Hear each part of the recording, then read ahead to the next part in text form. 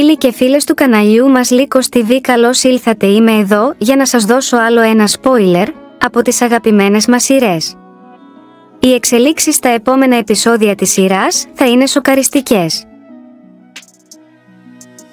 Έκπληκτος με τις ιδέες που έχει η Αμαλία είναι ο Ισίδωρος όπως θα δούμε στη συνέχεια της σειράς, η γη της ελιάς, ο οποίος της λέει να προσέξει και να μείνει μακριά της. Η Αθηνά με τον Τζον συνεχίζουν να έρχονται όλο και πιο κοντά με τα αισθήματά τους να είναι αμοιβαία. Πλέον όλοι έχουν καταλάβει ότι υπάρχει ενδιαφέρον και από τις δύο πλευρές και είναι ενθουσιασμένοι με τη χαρά της Αθηνάς, που αξίζει να έχει έναν τέτοιον άντρα δίπλα της. Μάλιστα κάποια στιγμή ο Μάνος σχολιάζει ότι ο Τζον και η Αθηνά θα γίνουν ζευγάρι και ο Ισίδωρος επικροτεί αυτή τη σχέση λέγοντας ότι ο Τζον είναι αξιόλογος και ταιριάζει με την Αθηνά, γιατί όχι, μακάρι. Ο Τζον είναι πολύ αξιόλογος άνθρωπος και η Αθηνά είναι κυρία με κάπα κεφαλαίο. Ταιριάζουν.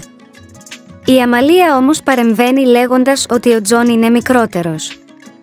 Τότε ο Ισίδωρος της λέει δεν ήξερα ότι έχεις τέτοια ταμπού Αμαλία, και εκείνη του απαντά ότι δεν είναι ταμπού, αλλά είναι θέμα αισθητικής. Την ίδια στιγμή ο Μάνος με τη Μαρίνα της επισημαίνουν ότι είναι προκατειλημμένοι.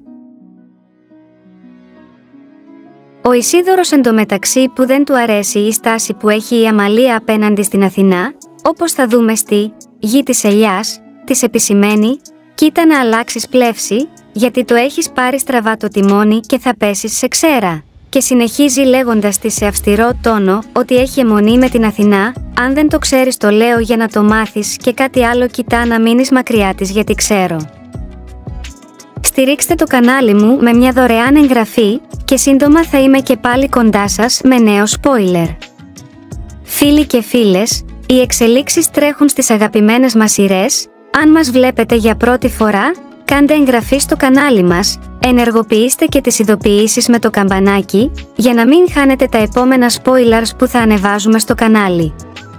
Σας ευχαριστώ πολύ που με παρακολουθήσατε.